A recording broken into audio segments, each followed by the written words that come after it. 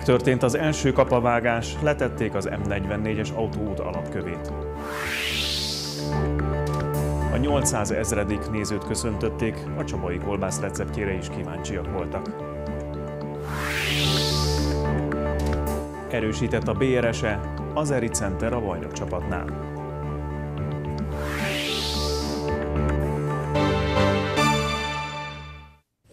Jó estét kívánok! Önök a 7.tv híradóját látják.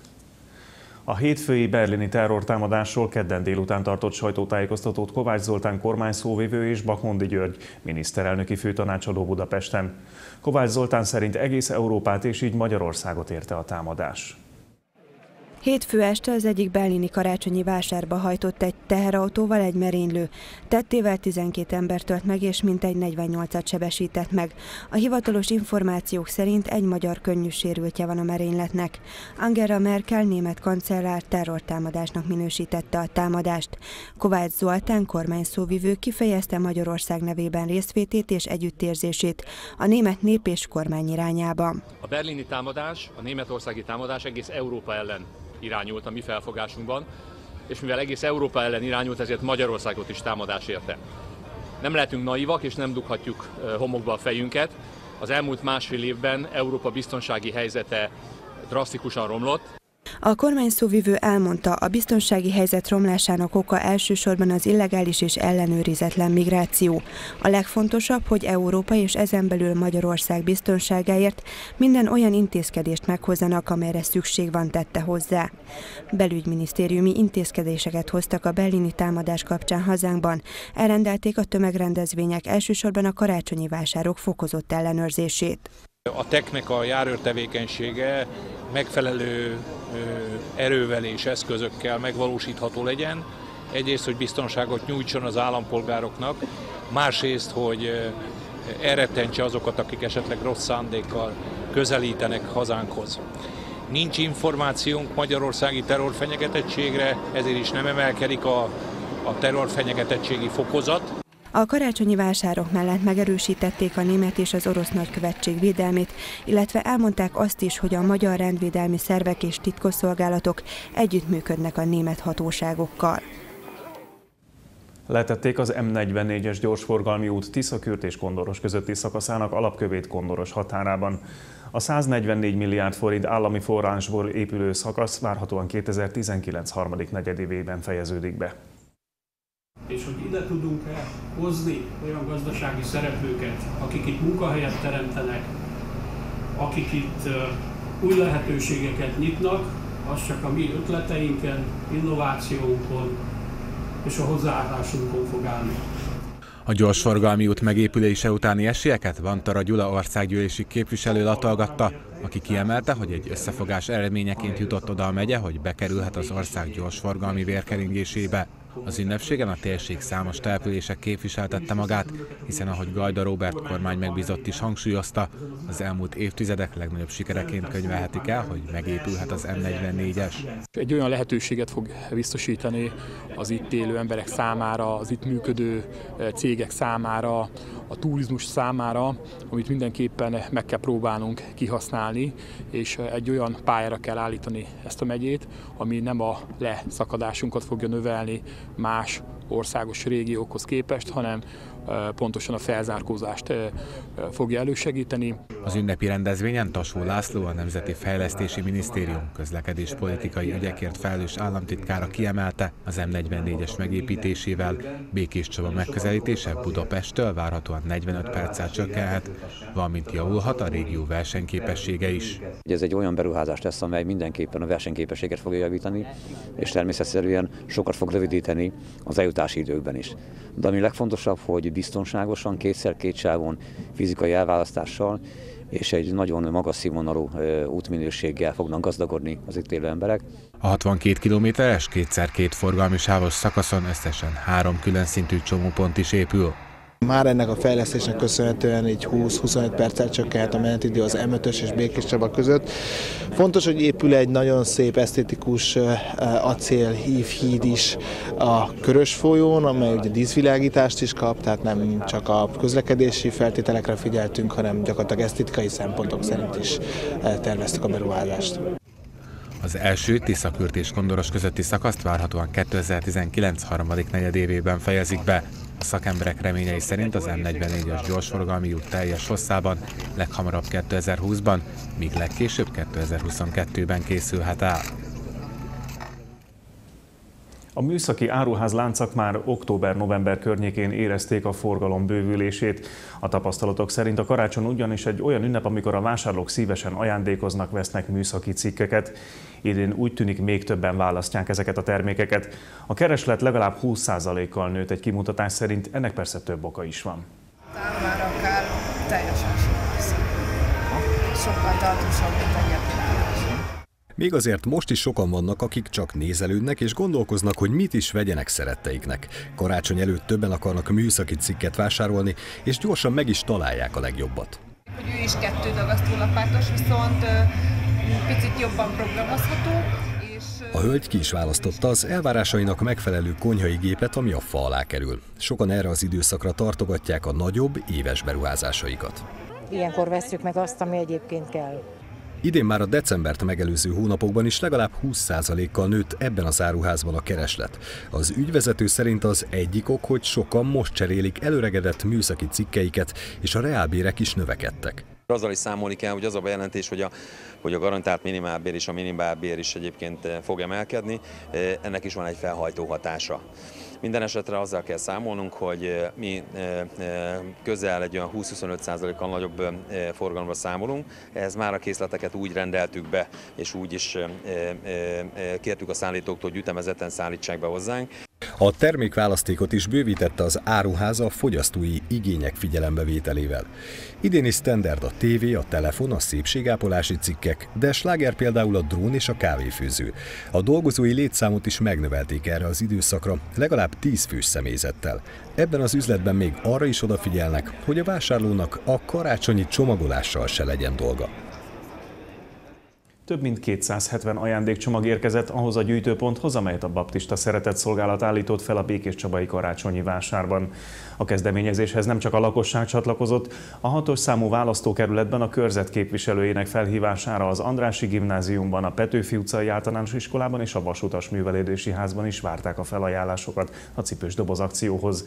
A gyűjtés lezárult, a csomagok kiosztása a napokban indul.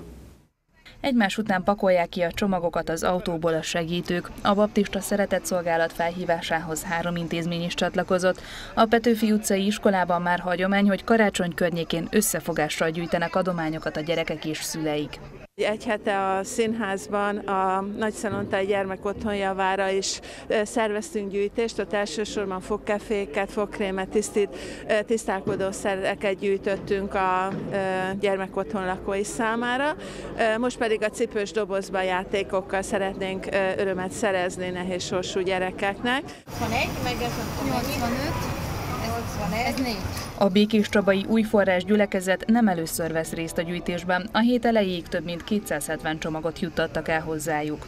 Az első alkalom az tavaly volt. Nem mi voltunk a kezdeményezői ennek, hanem egy a másik baptista gyülekezet, az október 6-a utcán lévő baptista gyülekezet fiataljaiból álló csoport volt az, aki kezdeményezte ezt az egészet, és az idén úgy gondoltuk, hogy mi pedig most egyedül próbáljuk felvállalni ennek a az örömeit és a nehézségeit egyaránt. A kezdeményezéshez Fülöp Csaba képviselő is csatlakozott, aki a körzetében található intézményeket kereste meg. Személy szerint nagyon fontosnak tartom azt, hogy minél több gyermeknek, minél több családnak szebbé tudjuk tenni a karácsonyát. Ezért is kértem föl a körzetben lévő intézményeket, a körzet lakóit, hogy csatlakozzunk ehhez a kezdeményezéshez, és próbáljunk cipős dobozok gyűjtésével minél több embernek, minél több családnak örömet okozni a karácsony közelettével. Fontosnak tartom azt, hogy segítsünk, ha van rá lehetőségünk. Az ajándékok a családsegítő szolgálaton keresztül jutnak majd el a látókörükben élő rászoruló gyerekekhez. A kiszállítást december 21-től kezdik meg. Munkácsi Öröknaptár Békés megyei úti kalauz és a Festőgéniuszról szóló kifestő is azok között a kiadványok között szerepel, amelyek a Munkácsi Mihály Múzeum gondozásában jelentek meg, és most kedvező áron lehet hozzájutni egy-egy példányhoz. Az ünnepi könyvvásár december 13-ától 23-áig tart. Megvásárolható az idén megjelent legújabb évkönyv, a Munkácsi Capriccio is, amely a csabai kötődésű festő életművét egyedi módon szemlélteti. A múzeumi bolt kínálatából a karácsonyi akció ideje alatt naponta 10 és 18 óra között válogathatnak az érdeklődők. Minden könyvből van több példányunk, amelyeket meg lehet vásárolni feláron, illetve még kedvezményesebben. Vannak olyan értékes könyvek is, amelyeket 100 meg 200 forintokért vehetnek meg a kedves vásárlók. A 800 ezeredik vendéget köszöntötték a Csaba Gyöngye Kulturális Központban, mégpedig nem mindennapi módon. A szerencsés nézőt a Békés Csaba Musical improvizációs musical előadás közben szólította fel a színpadra Szentevajk, és a játékmódból eredően a darabba is bevonták. Nem tudhatom. Hogy-hogy?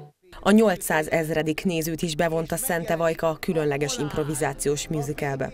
A darabban a Békés Csabai kolbász receptjére volt kíváncsi Szinetár Dóra, azonban a néző sem segíthetett Dórikának, akinek így tovább kellett kutatni a titkos recept után. Hortobágyi Erika természetesen ennek ellenére is átvehette az ajándékokat. Hát, hogy bejöttem, rajta volt a széken, tehát Valamit gondoltam, hogy ha Békés Csaba és Kolbász, akkor ennek valami köze lesz egymáshoz, meg musical, de mindenféleképpen meglepetésként ért, nagyon-nagyon meglepetésként ért. Nem számítottam rá. Szente Béla, a Csaba Gyöngye igazgatója úgy fogalmazott, a Békés Csabai közönség ide és hazatalált. Az igazgató azt is hozzátette, a tervek szerint haladnak, a látogatószám minden évben a várt eredményének felel meg. Én nem hiszem, hogy egy ilyen, egy ekkora épület ilyen üzemelés mellett ennél több nézőt meg tud forgatni, vendégül látni, de ez a 200 ezer, ez, ez úgy látszik, hogy beállt dolog, mert ha azt nézzük, ez a negyedik évünknek a vége, és most értük el a 800 ezerik látogatót, tehát évente ez 200 ezer nézőt jelent. Az év hátralévő részében még két koncertet tekinthetnek meg a kulturális központba látogatók, majd az ünnepek idejére bezárják az intézmény kapuit. Nyitás január 5-én. Bemutatták a Városháza dísztermében Gécs Béla Békés Csaba Széchenyi Ligete című új könyvét, amelyben a Koleradomb, a Sörház, a Ligeti vendéglő és számos ezekhez fűződő momentum lelhető fel. Az íróban elmondása szerint két lélek lakik, egy nyomdász és egy másik, akit Békés Csaba története foglalkoztat. A város történetét kutató emberként, amit talál közkincsé teszi, így a csabai mérleg olvasói sok régi történetet ismerhettek meg a Békés Csaba Annó rovatban. Most pedig ismét könyv született kutatásaiból. A kötet segítségével bekukkanthatunk az épületekbe, barangolhatunk a dámák egykori köröngyén, vagy felidézhetjük emlékeinket a régi kertmoziról. A téli napforduló ünnepe alkalmából Csaba királyfi dombjánál rendezte meg BMZ, azaz Bai Miklós Zoltán a negyedik zengetést Békés Csabán. A szertartás lényege, hogy a tűzgyújtással, a rezgések irányításával, a gyógyító erők lehívásával és összpontosításával megtisztuljanak a résztvevők. Őseink hite szerint erre az év legrövidebb, vagyis az újjászülető fénynapja a legalkalmasabb.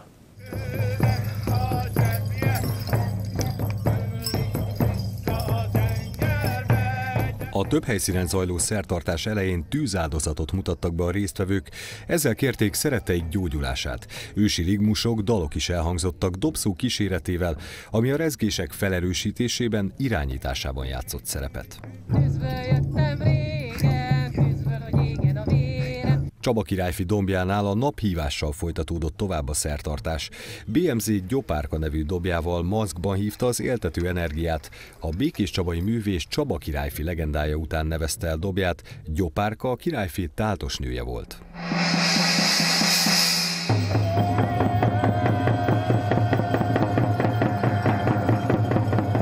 A táltos azt mondja, egy szertartásnál mindennek nagy jelentősége van a rituációk majdnem mindenütt azonosak.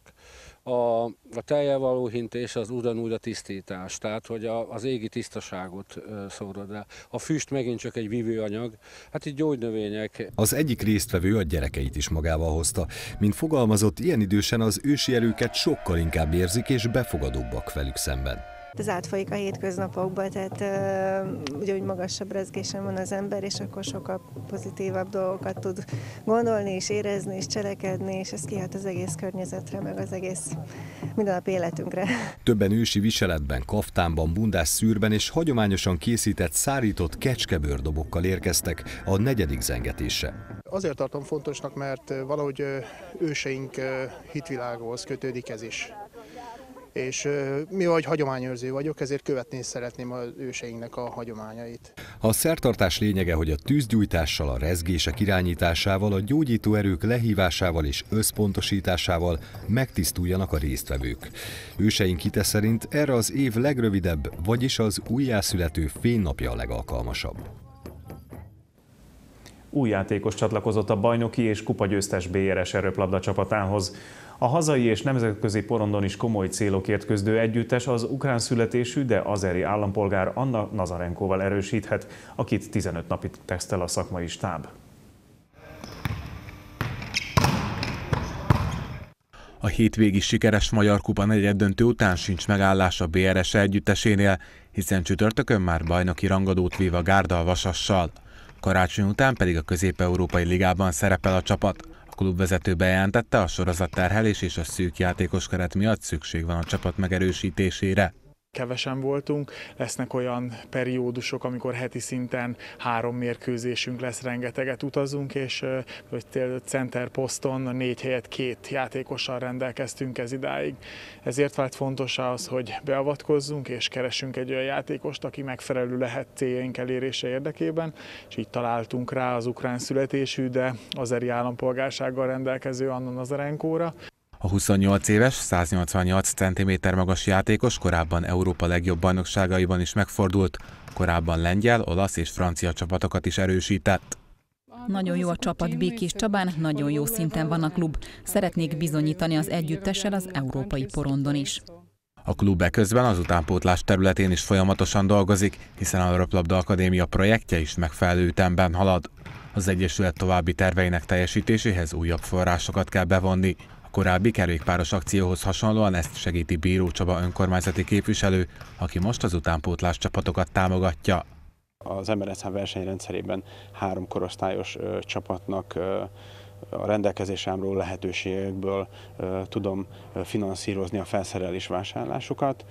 Ezzel is egy, szintén egy olyan kezdeményezést próbálunk elindítani, hogy azok, mindazok, akik szeretnének segíteni ebben, és szeretnék támogatni az utánpótlás nevelést Békés Csabán a BRS-nél, ők tudjanak ehhez is hozzá bekapcsolódni. A felnőtt csapat a csütörtöki rangadó után a két ünnep között itthon a szlovén Jubjana, valamint újra a Vasas ellen lép pályára. Híradónkat látták, további híreinket és videóinkat a behír.hu internetes oldalon találják meg. Köszönöm figyelmüket, további kellemes estét kívánok viszontlátásra!